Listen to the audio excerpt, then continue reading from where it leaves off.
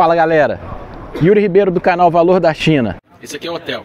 Estamos em Pequim, 29 de março de 2023, onde está acontecendo um evento entre empresários chineses, brasileiros. É um esforço muito grande para renovar e fortalecer as relações políticas e econômicas entre Brasil e China.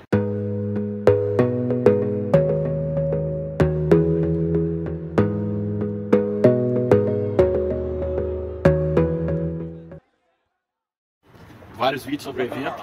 Não deixem de acompanhar, tá muito interessante.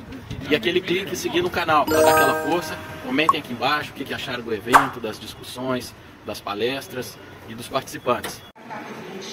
é um grupo de engajamento focado em startups.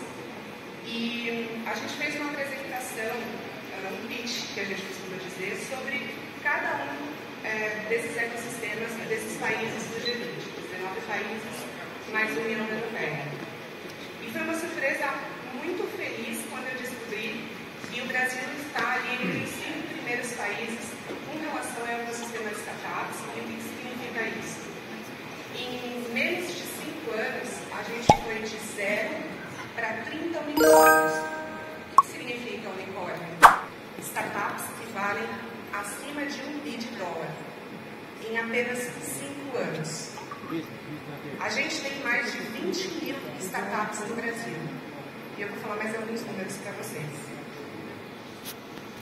Uh, mais de 10 bi de dólar foram investidos em startups no Brasil em 2021. As startups no Brasil já representam quase 2% do PIB. E dentro dos países do G20, isso já soma quase 15% do PIB. Hoje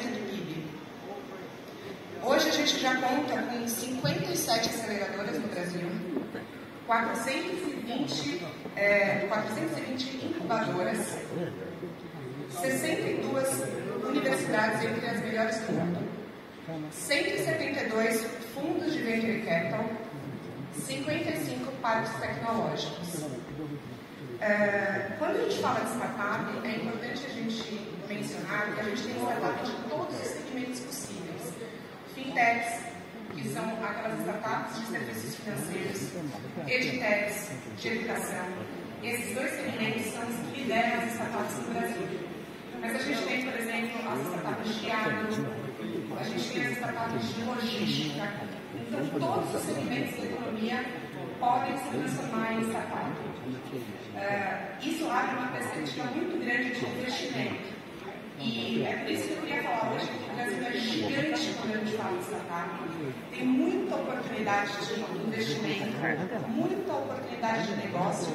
E eu queria abrir as portas do Brasil para que uh, essa união que a gente está construindo entre Brasil e China seja uh, a primeira de, de, muitas iniciativas que a gente consiga fazer. Eu estou aqui na China, indo para Xangai agora, saindo daqui, para a gente assinar o primeiro acordo cooperação é, entre tecnologia e inovação e associação de startups, uh, que seja o primeiro de muitos e que seja o início de um excelente relacionamento para que a gente possa fazer esse intercâmbio.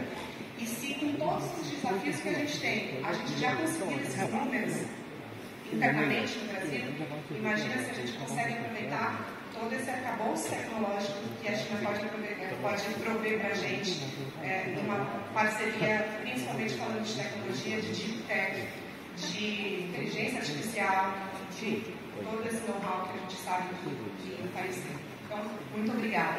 Muito obrigado. E para iniciar este painel que abordou um tema tão relevante na agenda de colaboração entre o Brasil e China, gostaríamos de anunciar a formalização de quatro memorandos do entendimento que irão fomentar ainda mais a inserção de startups brasileiras no mercado chinês, gerando transportamentos para. É isso aí, galera. Valeu, um abração. Estamos aqui de Pequim. Novamente, repito, 29 de março de 2023. Até a próxima aí. Não esqueçam de seguir o canal. A gente vai tentar trazer tudo que é novidade, tudo que está sendo discutido aqui na, na China, de interessante, de inovador, tudo que tem de novo aí. Um abração, até logo.